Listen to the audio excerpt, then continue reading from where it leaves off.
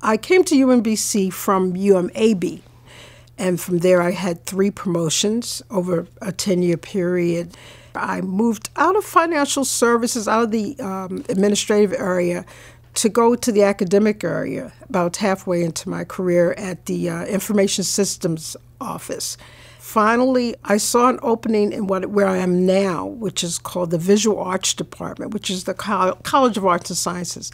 I've been to more exhibits than I've ever been to in my life. I've been to more plays. I've, I've heard more different kinds of music. I've heard um, speakers and lecturers that, that come and, and just expand my knowledge of the world.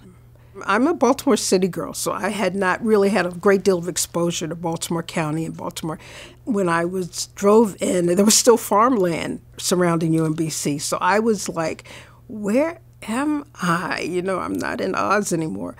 Over the years, as it's grown, as the buildings have developed, as the residential halls has gotten bigger, I realized that I was I was part of a, a, a living community.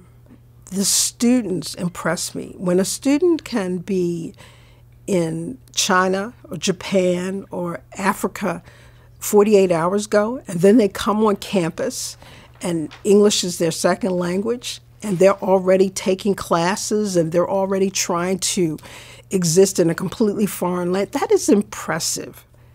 They come in with no fear. And because there's such a, a diversity of, of students and faculty, as the years went on, I grew. I learned more and more and more about the world around me.